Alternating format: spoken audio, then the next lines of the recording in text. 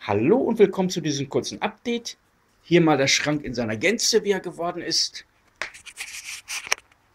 Das wären mal Nachtschränke, also das hier und das hier. Das waren eigentlich mal die Nachtschränke, wo ich eingezogen bin. Auf diesem Schrank oben drauf waren diese Teile da oben, wo die Wii U drin steht. Die waren da oben drauf montiert. Da muss ich einfach zwei Schrauben lösen. Da habe ich mir halt gedacht, dann ähm, stelle ich das halt oben drauf, mache die Wii U da rein und die Xbox One oben drauf. Aus den Regalen, die da drin waren, habe ich hier dieses Zwischenteil gemacht. Man sieht das hier auch, diese Fuge. Wenn man weiter weg sitzt, sieht man das nicht so sehr. Das habe ich mit, mit Klebeband hinten fixiert und dann einfach dazwischen geklemmt. Der Vorteil ist, warum ich das nicht richtig montiert habe mit Schrauben oder so, dann kann ich halt immer, wenn irgendwas ist, dann kann ich das abnehmen, weil dahinter die Kabel sind und ähm, etwaige Dinge machen, ohne gleich Schrauben zu lösen oder so. Solche Sachen. Und wenn ich das gerade hingestellt hätte, hätte ich immer noch die Lücke gesehen. Deswegen ist das hier schräg. Damit ich hier nicht ähm, eine Lücke sehe und die Kabel dahinter. Das stört mich immer besonders. Deswegen habe ich hier sogar so ein Tuch davor gehängt. Damit ich zumindest an dieser Stelle nicht die Kabel dahin. Ich mag dieses, dieses Kabelgewirre nicht. Deswegen finde ich das gut, dass hier auch eine Rückwand ist. Wenn das jetzt ein offenes Regal wäre, dann würde mich das vielleicht stören, dass die ganzen Kabel, die ganzen HDMI-Kabel und alles dahinter zu sehen sind. Und damit kann ich leben, dass man da drunter hergucken kann. Da achte ich nicht so wirklich drauf. Dann habe ich auch hier schöne Fächer für meine Controller. Die liegen da drin. Die Wii U-Spiele sind da drin gelandet. Hier auch der GameCube. Für mich ist persönlich ist der GameCube übrigens, by the way, das sollte ich den auch mal abschrauben. Für mich persönlich ist der GameCube eigentlich die, die letzte gute Nintendo-Konsole. Also es geht ja nicht um den GameCube, die Wii, Switch etc. Also wie gesagt, das ist der Stand hier.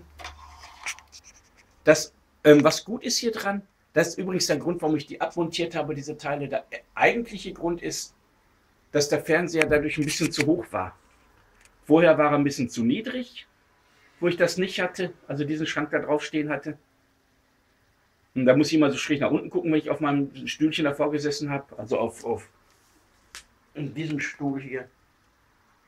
Das ist nur der Bequemlichkeit halber, das könnt ihr auch weglassen, aber dann so ist es halt bequemer. Hm. Und dann war es mit diesen Teilen war es dann ein bisschen zu hoch. Da habe ich diese Teile abmontiert, um das ein bisschen runter zu senken. Und jetzt geht das. Ja, ich bin ehrlich gesagt ein bisschen zu faul. Eigentlich hätte ich auch darauf achten können, diese Teile hier, das also drehen, dass das nach unten ist, dann hätte ich diese Fußteile da nicht gehabt. Also diese, diese, diese Plastikteile an den Seiten, aber das ist jetzt etwas, was mich weniger stört. Ja, das ist mein Schrank. Hier ist, dieser Schrank ist daneben. Mit dem PS4-Spiel, meinen Blu-Rays. Da sieht man die Xbox 360, die PS3, Vermutlich werde ich die irgendwann mal an den anderen Bildschirm anschließen. Ich mag das nicht mehr, zu viele Geräte an einen Bildschirm anzuschließen. Das habe ich mir abgewöhnt. Das gibt dann zu viel Kabelgewirre und so einen ganzen Kram. Deswegen habe ich die Retro-Konsolen gar nicht angeschlossen. Wenn ich wirklich meine Retro-Konsole anschließen möchte, dann, ja, dann mache ich das halt so spontan. Anstatt jetzt hier fünf Regale daneben zu stellen, um jetzt alle Konsolen an einem Bildschirm anzuschließen. Gleich schließe ich die beiden ja an den da mal an. Das ist auch ein, der Zoll 1 HDMI-Eingang. Da mache ich halt einen Splitter dran. Da habe ich einige für. Und dann kann ich zwei Konsolen an einen Monitor anschließen. Logischerweise kann ich die nicht zugleich in Betrieb haben. Und das sollte einem, glaube ich, einleuchten. So, das war's auch schon. Sag mal Tschüss, bis zum nächsten Mal. Man muss also, man kann sie also aus Schränke selbst zusammenmontieren. Wie gesagt, ich mag es einfach nicht, das ging auch nicht mit der Tür. Das war übrigens auch deswegen so gelöst, weil die Soundbar davor steht. Ich hätte diese Klappe also gar nicht aufmachen können. Mit der Soundbar davor. Deswegen habe ich mich dazu entschlossen, die Tür rauszunehmen und ganz wegzulassen. So, das war es aber auch schon. Bedanke mich mal und sag Tschüss.